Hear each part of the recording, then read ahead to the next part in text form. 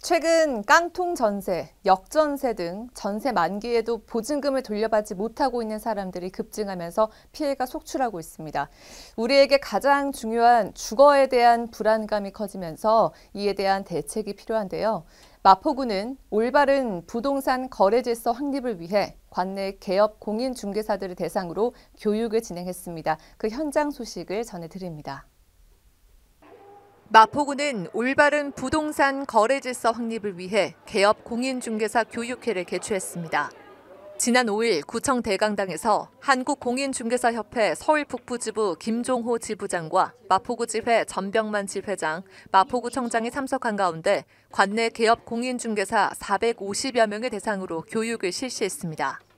이날 행사에는 부동산 중개업 유공자 표창장 수여식과 전세 사기 예방 및 공인중개사 실무 교육, 공인중개사법 위반 사례 교육 등이 진행됐습니다. 현재 구는 주택임대차 안심계약 상담센터와 전세 피해 지원센터를 운영하고 있으며 지속적인 표시 광고 모니터링을 통해 피해 예방에 노력을 기울이고 있습니다. 이번 교육을 통해 건전한 부동산 거래 질서 확립과 불법 행위 근절로 주민들의 피해가 일어나지 않기를 당부했습니다.